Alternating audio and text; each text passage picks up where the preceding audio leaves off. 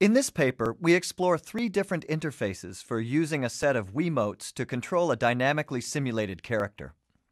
This interface uses the motion of the wrists to specify walking, running, and jumping.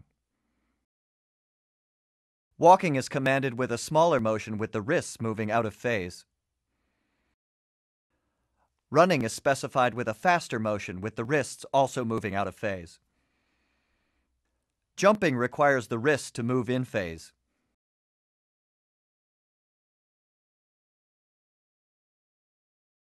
With this interface, the user swings his arms as he might while actually walking, running, or jumping. To specify walking, he keeps his arms straight. Running requires that the arms be bent. Jumping is similar to running except that the arms are moving in phase.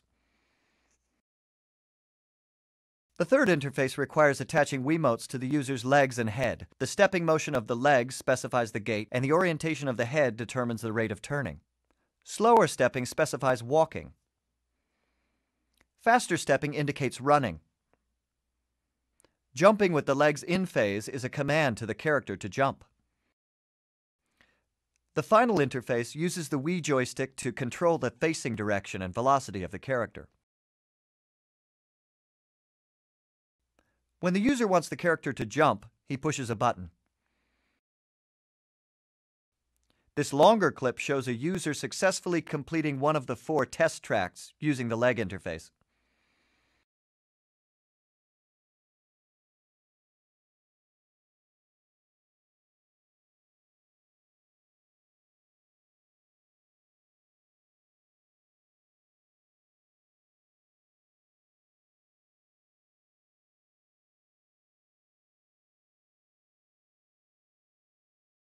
We now show a few failures from our user tests. Here, the character fell during a transition from running to walking. The timing of this jump was not successful. The user failed to negotiate a corner.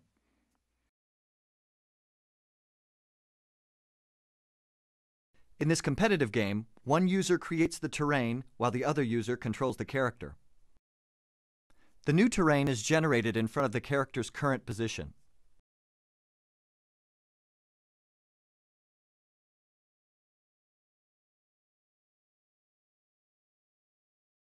A step is created by pushing a button and inclining the Wiimote vertically. A slope is created by inclining the Wiimote vertically without pushing a button. The sharpness of the curve is changed by inclining the Wiimote sideways.